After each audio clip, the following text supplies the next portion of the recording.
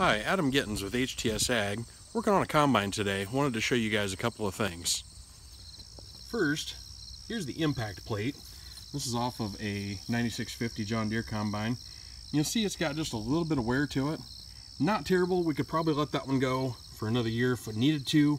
But when you set a new impact plate beside that, and you can see the difference between them. Notice along this top edge, this has got a nice sharp edge. This one's actually starting to wear and has a little bit of roll to it. Now, if that was the only problem we had was the impact plate there, like I said, that could make another season. But when we get to looking at the flow sensor here, and we notice that uh, in the side of the flow sensor, we've got the potting material missing here. Looks like some mice got busy on this one, actually chewed some of that potting material out. This side's a little worse, you actually see wires in there.